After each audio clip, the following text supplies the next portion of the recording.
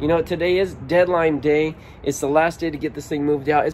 We peeked in here. We see some silverware. M, M, M. All these have M's on them. M, M, M, M, M, M, M, M, M. And now this looks terrible. Absolutely despicable. Ooh, I've not opened this yet, you guys. All right, it's definitely it's defective. Okay, it's definitely something's wrong with it.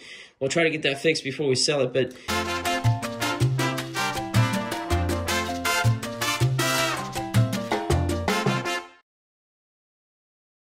All right, what's up, Locker Nuts? Back at the unit. I got my trailer here. You know, today is deadline day. It's the last day to get this thing moved out. It's been two weeks. The guys here have been super, super cool about giving us more time. And we really appreciate that because this one took more time. It's just so much stuff, and I'm not complaining. It's been great. If you guys are new to the channel, we bought this locker for 50 bucks, and it was full. It's a 10 by 20, 50 bucks. Why did we get it so cheap? Because no one showed up at the auction. It's a very rare occurrence. There's only one stop on the auctioneer's route and there's only one unit there and a lot of people said I'm not making it out there for that. Well lucky for me we live in the area and we didn't miss it although we almost did. Also a very fun locker for me to go through but I think also for you guys to watch right. I don't know even know what part this is going to be part 7 part 8 I don't know but good stuff coming out I know there's more good stuff in there too. So I'm gonna get to it right now. Load this trailer because I'm I'm limited on time. Believe it or not, I've got the full day, but this is gonna take me a long time. All right, let's get to it. Making some progress. Also making the trailer tall. I'm not getting on the freeway. I'm just gonna go across town to my unit and unload. But yeah, it's a little bit taller than I'm comfortable with. I still have a lot, a lot to go. It's starting to make me a little concerned because I've got two loads you'll have space to put it all. I don't know. So, but this is good. Check this out. I cleared these as Chevron cars, Chevron cars, Chevron cars, Chevron cars, Chevron cars. Before I'd only seen the top box or two. So there's a whole bunch of Chevron cars there. But over here, we've got a whole bunch of Christmas decorations. This is a tough sell in March, guys. Tough sell. I mean, if you bring it to the market and price it really, really low, it'll go. But, um, and of course, if we have really nice vintage stuff, then uh, that there's still value and that actually be worth hanging on to and waiting till the season. But I don't see that. Uh, I'll have to look closer, but ton of Christmas stuff. More Christmas stuff. Gift bags for Christmas. Um, looks like those might be different. Here's Valentine stuff. I already took out a bunch of boxes with Halloween stuff. So, uh, but yeah, stuff looks good. I'm getting down to it. There's not a lot of mystery left of what's in here. This corner still's hiding some secrets. This is a mini fridge right here. So we'll get that out, and take a look at that.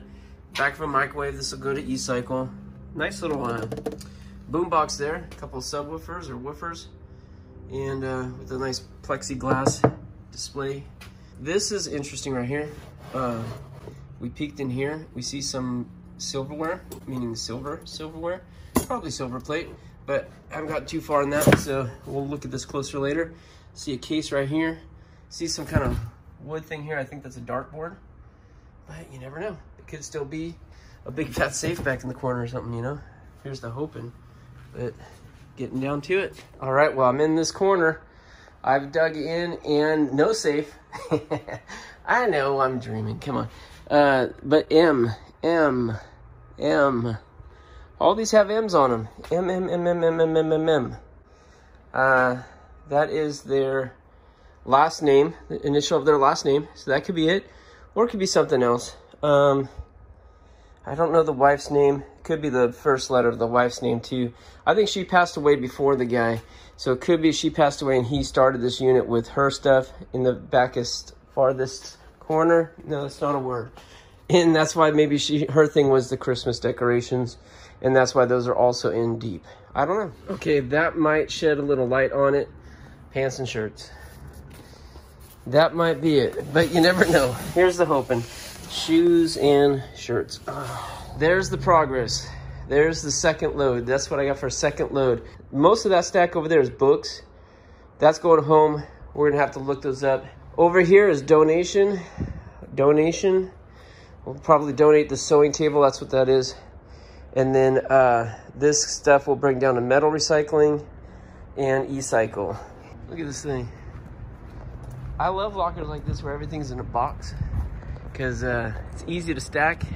Goes a little quicker, but wow, is that not a huge cube right there?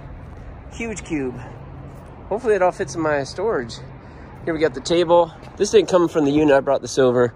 But uh, a few things. Look at this bag of hats right here. It's got a whole bag of hats.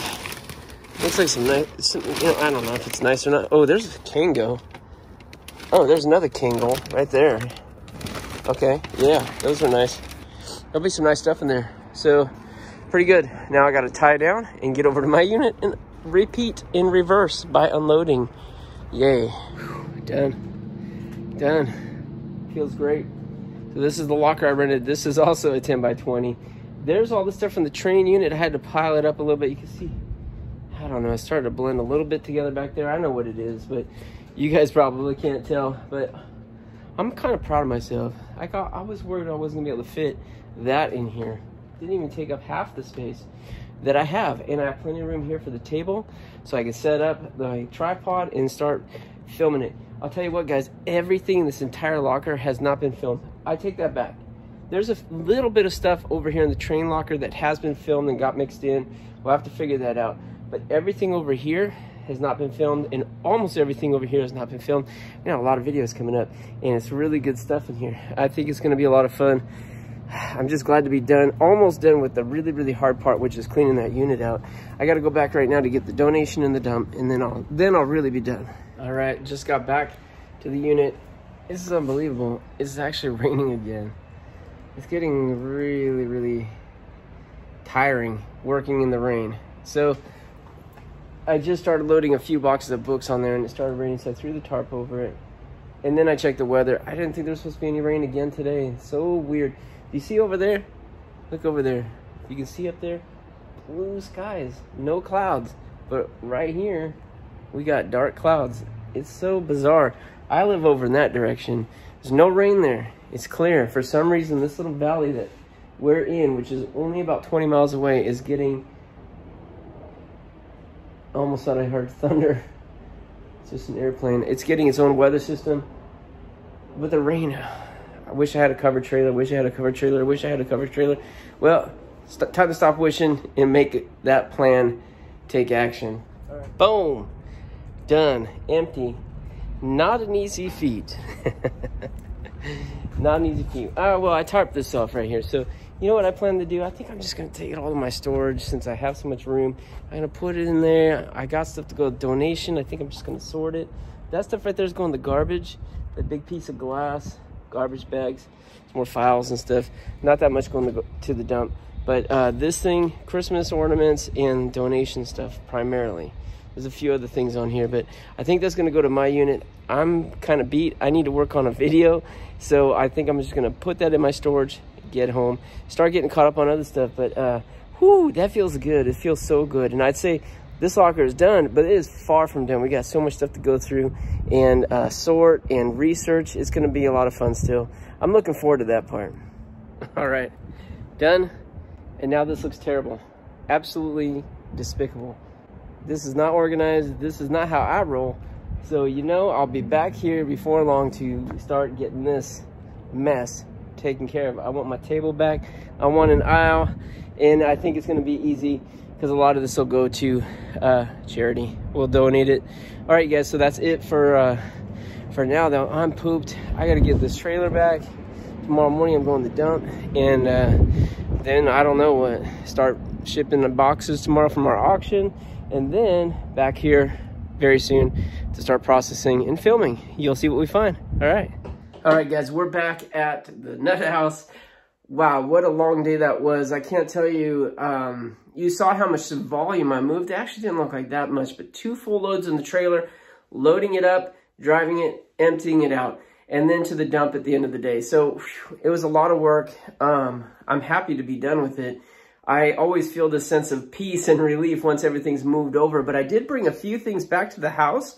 I didn't want to spend a lot of time filming because I knew I was, uh, I knew I was just stretching myself that day physically and mentally. I think I fell asleep at like 8.30. It was a long day, but I got a few things put aside. Let's take a closer look at those because I think there was some interesting stuff and there's still all those boxes in the storage yet to go through, but let's take a peek at these. All right, first up, we've got this flag. So This definitely looks like a flag that would have been issued to somebody who served in the military, which is interesting because I didn't really see, I don't remember seeing too much evidence uh, that anyone served, but it could have been, it could have been just forgetting. Nice piece. Uh, really not sure what to do at this, at this point. So I'll tell you more about this guy's story, what I've learned about him, but uh, we definitely believe that he passed away and we definitely believe there's no family. I think for now this is just going to go in my garage and sit for a while just in case anyone comes forward from his family and wants to collect it. Uh, we'd be happy, honored to give that to them. Otherwise, I don't really know. Do you sell these? What do you do with them? I'm not sure. Um, I don't think I've really even found one of these before. I think I found one and I gave it back to the facility because they were in contact with the owner. All right, next up we've got what appears to be a camera bag. Really nice bag, leather, uh, has a really nice look to it. Vintage for sure. So we found that one other bag that looks similar to this, but it was much smaller. And uh, we still have it somewhere. Ooh, I've not opened this yet, you guys. So this is like the other one's got that nice green, definitely like 70s looking inside. We've got a few cameras in here. Let's see, this is a lens right here. Let's see what we got. Okay, there's a zoom lens. And, huh, it's a zoom lens, but it does have a macro setting. I think this is for getting really close up. So what's this? Uzunon MC Auto Telezoom. Hmm, very cool. Sometimes these lenses can be worth more than the cameras, but I've not had a, too much success with them. Not too much. Yeah, what's this? Huh, a little filter. Look at that. It's blue. It's pretty neat. Polarizer, Kalt. All right, I thought there was a couple cameras in here, but this is just one huge camera. My goodness, look at this. Professional. How do you hold this thing? Um, Mamiya, huh? Wow, this thing is crazy huge. This is definitely looks like a professional camera. I do not know much about these types of cameras and I like the mount right here. This thing is pretty interesting. I bet you we could take that off and use it for just about anything. It's not terribly comfortable in my hand though. Um, and is there a button or something missing right here? I'm not sure. It feels like that would be a right place for a button. What's this say? Stitz. And look at that, Seikosha S. Definitely sounds Japanese. This is a nice piece. Oh, right here. Mamiya C33. Wow, that's cool. Oh, wow, look at that. oh, this is the kind where you look down in it. Pretty cool. There's a couple other things in here too, though. All right, this is just a lens case. Definitely vintage. Diffu diffusion, it's 40.5, another one, Kalt. It's a strap. It's another little part for the camera, I would think. It's a little, um, oops, like sun visor, lens cap, Vivitar. So that's, that's what's in there. That's a nice little bag right there. I bet you this bag's worth some money too. Okay, if you remember, we found this erector set a few videos ago, and um, it appears to have some really cool parts, and um, but obviously not the original packaging, right? Much more modern containers that they used. I think what the real value is here is uh, this piece right here. It's the motor. I looked on eBay and these, if you have the motor, this thing is where the money is. So anyways, we found this, but check this out. Okay, we also found this box right here. Dun, dun, dun. Look at that. Look at that. I think this is the original box. And it's in kind of rough shape. Uh, which is probably why it's in here by itself. Lots of uh, masking tape done to shore up the edges. hasn't done enough to protect it from the you know, the, the perils of time. But wow, look at this. Look at the string. I have to think that's probably aftermarket. but the label here looks pretty. Look at that. It's really bright color, vivid color. It's not you know, like faded or anything where it's been left out in the sun. This probably hasn't seen too much light of day. And this is what we have, right? Because we recognize the tower, the little hut. There's the engine, motor. Um, hopefully we have most of the pieces, but I see those recognizable pieces there. So this is number seven and a half engineer set. Sensational new erector. Very, very cool. All right, now we've got this uh, dartboard. I'm almost positive it's a dartboard. Be careful. Got this, I don't want to mark the wood. Seems to be like it's in really good shape. Uh, at least from what we can see. Let's take a peek. Obviously, I haven't looked in here yet. It's been uh, it's been closed up. So I like dartboards. I unfortunately don't have a good place to hang one here because my garage is so full. Oh wow, this is a really nice one. Really, really nice. Okay, it looks like we got some decent darts here too. They feel pretty nice. Good. I'm trying for a bullseye. Close. Close. Come on. Yeah, got it. this is a nice board, really. What do we got here? We got a whole bunch of that's a plastic tip dart right there. I wonder if you use that for this or if that's for an electronic dartboard. We got all these different tails and stuff. Nice stuff. Of course, these guys had nice stuff all around. These look like they are special Halix. See if they're any more accurate. Nope. Close. All right, it's definitely it's defective. Okay, it's definitely something's wrong with it. We'll try to get that fixed before we sell it, but um, joking aside, I'm to sell this locally, and I'm probably to do it very soon because, oh, oh, oh, I fixed it. It works now. That's pretty cool. I'm to get this on the market, I think, today. Okay, last item we're to go through, silverware box. We already peeked. Let's take a closer look. So, oh, yeah. So 1847 Rogers Brothers We've had Rogers Brothers lots of times, and that is a silver-plated 1847 Rogers Brothers IS. I think that's International Silver. See that? Flair. That might be the uh, style of this particular set. It's a nice looking set. It's got like a little bit of tarnishing on it, which you'd expect to see when it's, you know, silver plated. All right, nice. Got a big silver serving spoon here. Same thing. Uh, this is a pretty decent set right here. I'm not sure what goes here. But that's good right there. That's pretty good. Let's see what we got here. We looked at this before, I think. It may have been off camera. All right, what's this? What is this? Got a lot of markings here. G48. I'm not sure what this one is.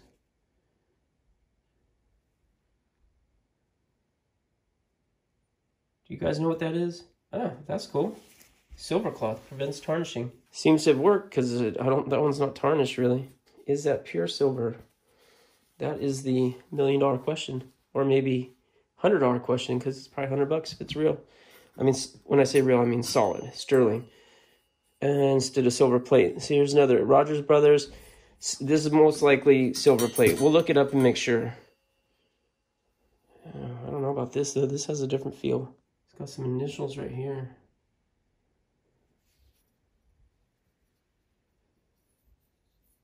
I think this might be solid silver. It's uh, fairly worn there, so it's hard to see any markings. markings are there. Tarnish resisting chest. Tested and approved by the laboratories of the International Silver Company. So something about this prevents tarnishing. I didn't know that existed. I don't know that much about silver sets because um, I haven't found very many. Very cool. All right, I think this is a good little find. All right, you guys, another great day going through this locker. I mean, I didn't have that much time to actually go through stuff.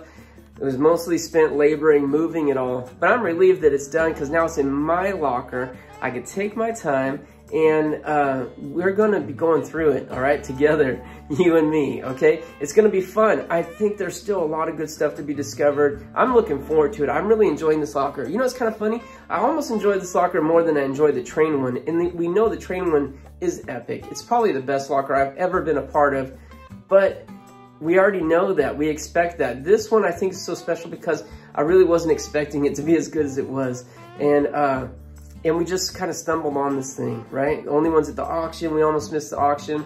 It's just one of those, almost like a fairy tale, you know? Like the old, uh, you know, ugly duckling turns into prince or princess type story. I love those stories. It's like a Disney story.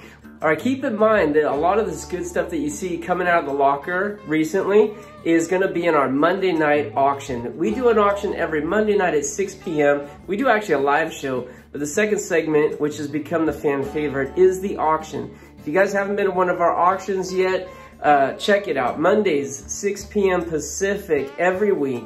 And uh, don't think that you're gonna miss it if you're like 6.45, 7 o'clock, you're like, oh, dang it, I missed it. Uh-uh, we go, we, we've been going for hours because we've had so much good stuff and um, there's a lot of people on, there's a lot of bids, there's a lot of people are finding great stuff and good deals on the auction. So please, please join us. The next video will be out soon. I'm going back to that unit and doing some digging. Let's start with those Christmas ornaments, see if we got anything good. And also I gotta get all the thrift store stuff out the way so I can get in that unit because yeah, it's pretty, I left it pretty messy and I don't like that. But we'll get to it, all will be cleaned up. But until then, good luck to you guys. God bless you. Stay safe, stay sane. We'll see you next time here on Locker Nuts.